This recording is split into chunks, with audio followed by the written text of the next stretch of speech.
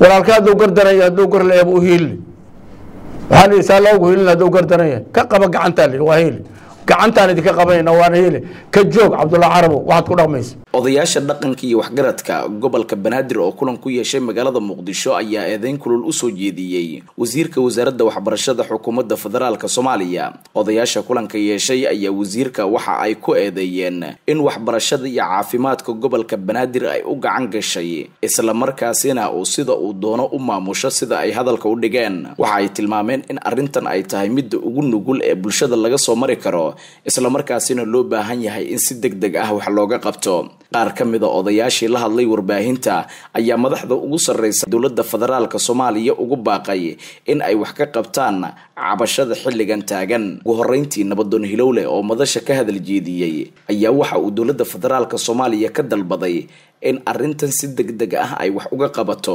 islamarkaasina loo baahan yahay in shacabka loo fududeeyo cabashooyinka iminka ay tabanayaan. Odayaalka dhaqanka maanta waxay meesha isugu yimaadeen waxay tahay dhibaato ka haysata caafimaadka. Goobaha caafimaadka weliba qaarkood.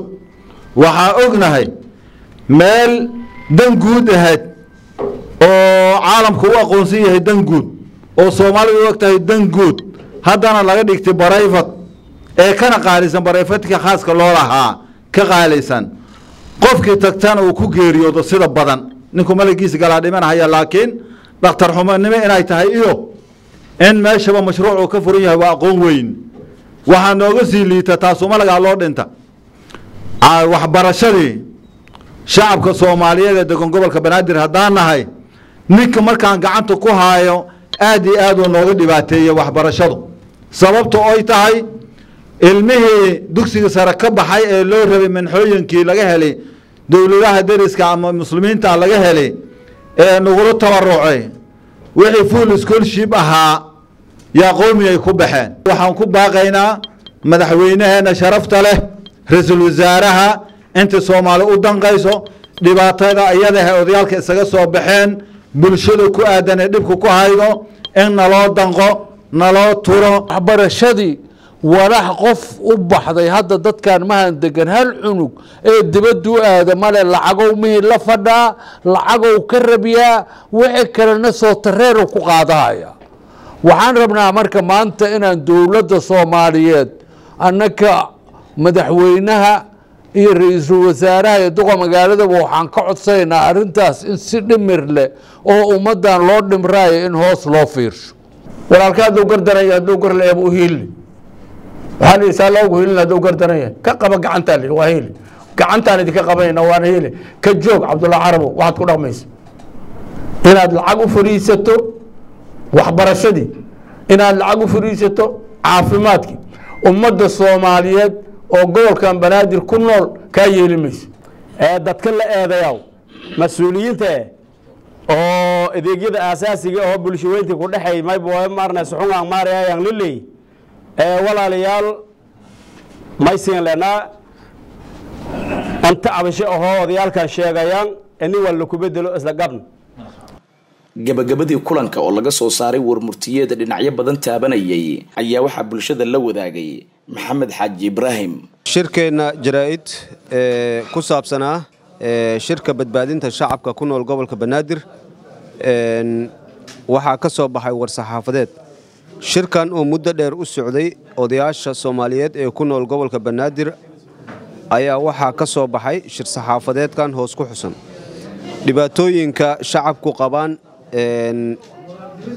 isbitaalada dhibaatooyinka shacabku ay ku qabaan isbitaalada qaarkood sida isbitaalka yaardameeli oo ahaa dan guud lagana dhigay barayfat kana qaalisan barayfetyada kale ee qaaska loo leeyahay. Meeshii shacabka lagu badbaadin lahaa waxaa beddelay qof qofkii la geeya inuusan gurigiisa ku soo laaban. Haddaan nahay odayaasha dhaqanka waxaan aqoon weynay in mashruuc shacabka ku furan uu yahay iyo in dhakhtar xumo ay tahay. Mas'uuliyaddaas waxaan saaraynaa xukuumadda xilgaarsiinta qaarkood. Labo waxaa kaloo dhibaato ka jirtaa meeshii isbitaalkii weynaa ee lansaleti oo aan shaqaynin shacabkuna ay baahi weyn u qabaan. Saddex waxaa kaloo dhibaato ka jirtaa meeshii la dhihi jiray ubaxa kacaanka ee hadda loo bixiyey isbitaalka jaziira dhammaan intaasi waxaan ku eedaynaynaa wasiirka waxbarashada cabdulaahi carab oo isku oo ku takrifalaya si ku takrifal ah ugu dhibaataynaya shacabka soomaaliyeed.